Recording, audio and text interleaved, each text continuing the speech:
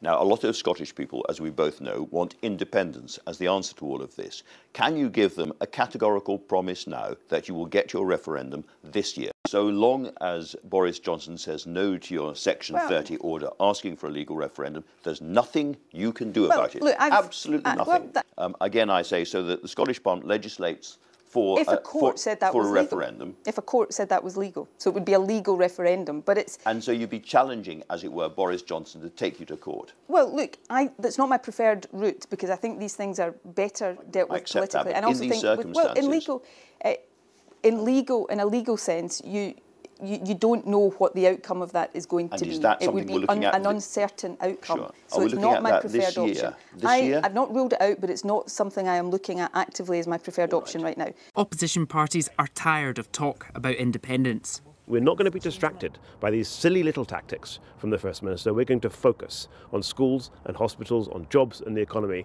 They've had 14 years running this country into the ground. Time's up.